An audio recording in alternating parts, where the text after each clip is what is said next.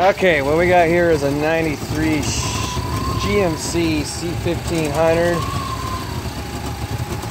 And as you can hear, it's just kind of lopping and trying to die at idle. brought in here because of this, getting a little surge off of idle and then going down the road, it would just cut out, kind of like it's running out of gas and then kick back up and start running fine again. And as we can see here, this O2 is basically stuck on the rich side. It's oscillating a little bit, but not much to it. And you can see the fuel trim is trying to pull a lot of gas away, and that's when it starts really chugging.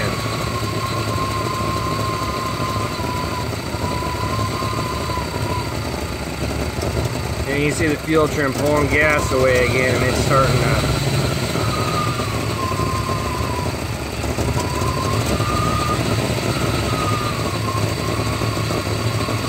trying to die.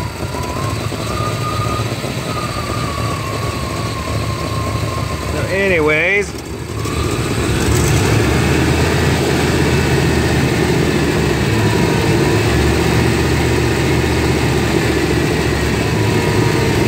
yeah, we're getting that surge.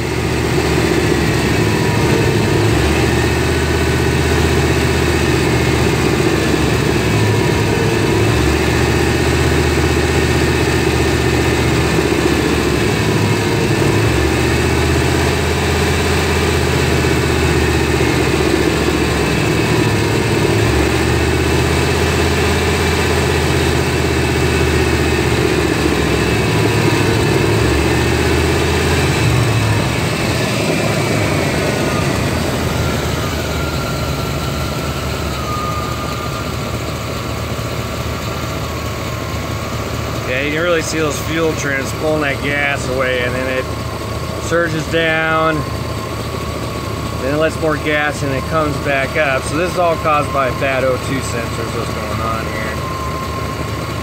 In fact, earlier it was just pegged way up at 1108 millivolts.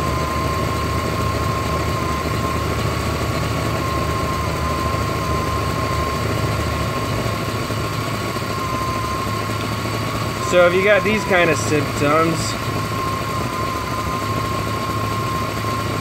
I'll show you here in a minute. And if you don't have a scan tool or whatever, and it's acting like this, or you're driving down the road and it just kind of cuts out like it's dying, losing gas or something, and it kicks back in, what you gotta go on is a half-ass working O2 sensor. It's kind of working, not working. So what we'll do is we'll just unplug the O2 sensor and then fire this back up and that'll throw it into open loop and it'll just go to its predetermined fuel trims and then see if the problem goes away. I'll go unplug it now. Okay, we got the O2 unplugged. And as you can see, it's already idling better. And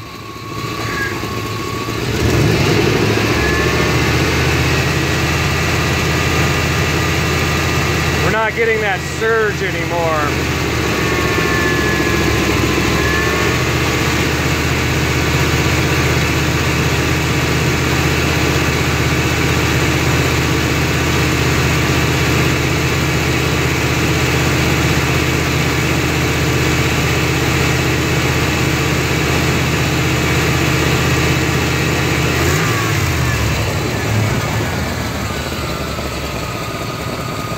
Okay, now here on this O2, we're still seeing about 450 millivolts. What that is, is the computer sends 450 millivolts down the signal wire to the O2 for diagnostic reasons.